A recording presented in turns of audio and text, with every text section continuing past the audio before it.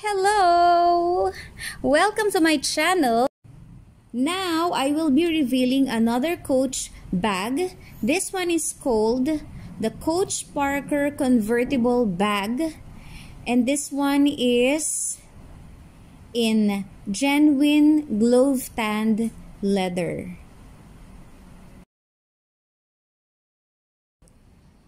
This one is in leather in the color black.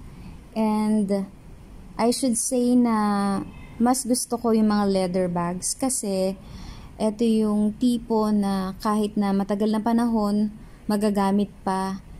And at least, 'di ba, in that way makakatipid kasi leather, genuine leather, so hindi siya basta-basta masisira. Okay, so now Ayan, titignan natin muna itong bag na to. This is the front. And this is the side. The sides. Ayan. And this is the back part. Okay, so yung back nito, meron siyang pocket. Zipped pocket siya. Ayan.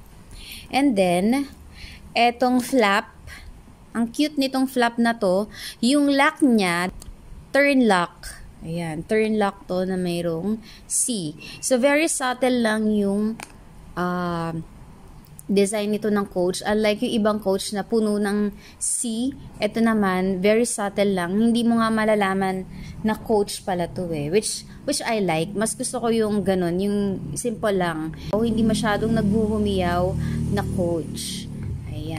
And then, dito sa side na to, sa may likod ng flap, meron siyang apat na holes. And these holes are for the strap. Kasi this this bag is um, this bag can be used in three ways. Pwede siyang shoulder, pwedeng backpack, pwede rin siyang um, I mean, yung sa shoulder bag, pwede siyang maging shoulder bag in two ways with a long strap and with a long strap na pwedeng i-cross body and then yung short strap na naka-double yung uh, ganyan, parang ganito, naka-double naka-double na ganyan. I will make a video, another video on how this bag can be used in three ways. Pero as of now, ito lang munang reveal nitong bag na to. So, I am going to pull it back So, kaya, uh, kaya ayan parang may dent siya on this part. It's because, siguro sa box, kasi nakapackage to eh, from Saudi.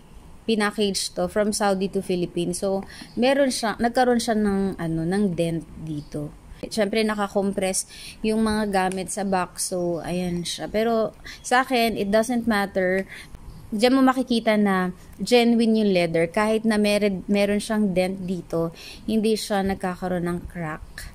Minsan kailangan lang na um, ganyan, hawak-hawakan mo ganyan and then siguro mga ilang days or weeks mawawala din yan.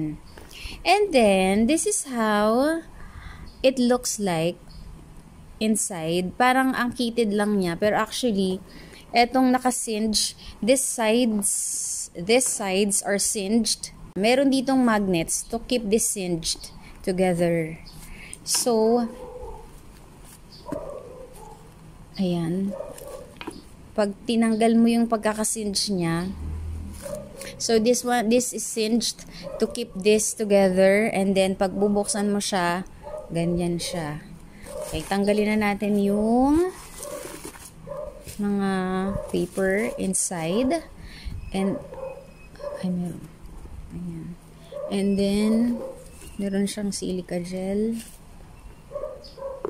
Okay, this is how it looks like inside. Naman,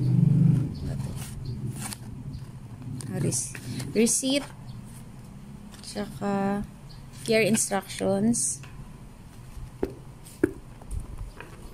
Ayan. Tumbag na to, it has no zipped pocket open lang yung pocket niya. The, the opening of the pocket is from here and then it goes down until the bottom. Okay, so nasisinge siya. It can be singed. And then, you turn the lock. So, it's turned it open again. And dito sa side na to, dito sa mga ring, there is, uh, okay, the brand. Coach. Ayan, Coach. And on the other side, ayan din yung Coach. Coach. And then on the zipper, there is also an inscription of the brand Coach. And another inscription is here on the turn lock, on the both sides of turn lock. And then Of course, it comes with this tag. This one has a, it has a hat stamp. It has a hat stamp with my initial and a heart. Ayan siya. Okay, so the strap is a combination of metal hardware and leather. So, and you can this can be pulled to make it um, to make it a shoulder bag or a crossbody bag. This is how it looks like. So now let's take a look at the dimension of the bag. So first let us measure this this part in inches. So it measures 7 point 7.4 inches and then this part measures 10 inches. And 7 the bottom measures 7 inches. And the height the height of this bag is 9 inches and the depth of the bag is 4 inches this is 4 inches Okay. So the hardware, the color of the hardware is in gold. So that's it for my reveal of the Coach the Coach Parker convertible bag. I hope you like this video. Please like and subscribe to my channel. Bye! Keep safe everyone.